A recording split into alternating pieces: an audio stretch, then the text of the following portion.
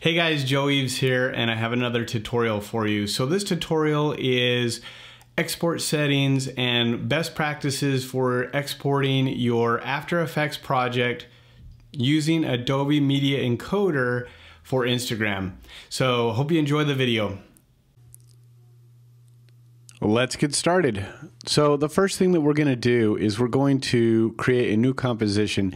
Now this video what I'm going to be doing is I'm going to be using this for Instagram. So in order to do it for Instagram, I'm going to size it a little bit differently. So I'm going to go ahead and do new composition. And from new composition, I'm going to go ahead and I'm going to make the width 1080. And I'm going to make the height 920. I'm also going to change the frame rate to 30 frames per second and we'll do 15 seconds. And I'm going to go ahead and hit OK. And that is my composition for Instagram. So now that I have basically my clip how I want it, I'm going to go to composition and I'm going to go to add to Adobe Media Encoder. And I'm not going to do add to render queue. And the reason why is because when you use a Adobe Media Encoder, um, it compresses the file to an H.264 codec, which is exactly what you want, or an MP4.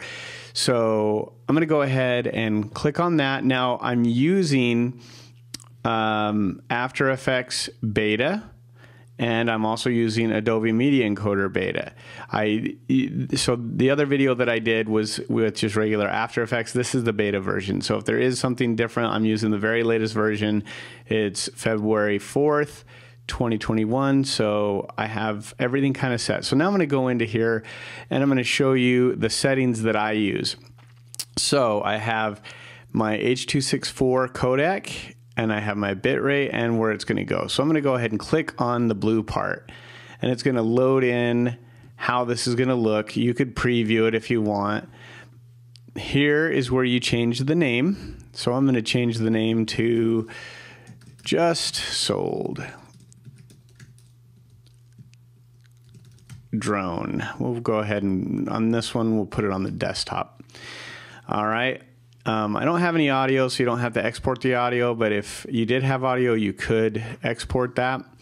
The main things that you want to do is you want to go in here and you want to make sure that the frame rate, so this is all lines up with the comp that I made. So it's 1080 by 920, it's 30 frames per second. I want to click on this render at maximum depth. So you click on render at maximum depth. Then you're going to scroll down a little bit more. So then what we're going to have is we're going to have this bitrate as two pass. We're going to have the target at three. That's our goal. So the higher this number, the higher your estimated file size is going to be. So I want this to be a pretty small file. So if I put it at three, then I'm gonna I'm gonna be about three or four megabytes or six. So there we go, six megabytes. Now I have that set. I have my everything in there that I want, and then I'm going to click uh, use maximum render quality. So I'm going to click on that as well.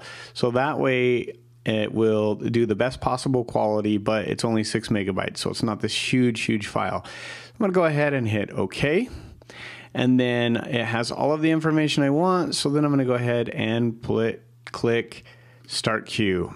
And down here, you're going to see that that is going to start rendering the file that we just made. Now, this is exactly how I wanted it. Now, if I wanted more text and some other things on there, which I would do, um, I could show you in another video on how to do that. But the most important thing is that uh, for Instagram, it's 1080 by 920. It's um, around six megabytes. The other important things is frame rate at 30 frames per second. You can do a maximum of 60 seconds for your video, but realistically, a little shorter videos are going to be a little bit better unless you're going to put it on IGTV. But this is a really good export setting for your After Effects projects, but I highly recommend that you use Adobe Media Encoder when you do this, and I'll show you why.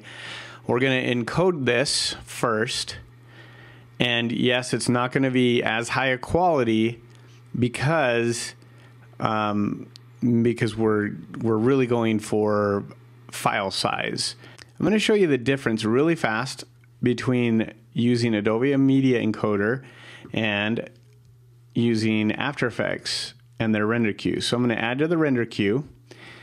I'm going to go into my Lossless and if you notice, there's not an H.264 codec here. So you'd have to install one.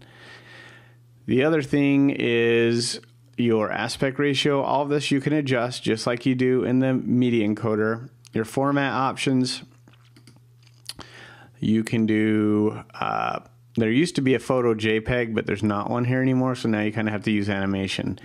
And we're going to continue. So there's not a lot of options to make this a smaller file size. And I'm going to go ahead, hit OK. We'll change this comp to big drone file. And go ahead and put that on the desktop as well. And we'll go ahead and render it. It'll render pretty fast, which is awesome. Doesn't, it doesn't take that long to do. So now we'll pull them up side by side. So it's the exact same thing, 1.3 gig or 6.2 megabytes. I'm pretty sure it's clear which one you want to put on your Instagram. You're not really going to notice the difference. But the file size is way better. So there you go. Hey guys, thanks again for watching the video. And remember, if you have any questions on this video, please comment below. I'd love to talk with you.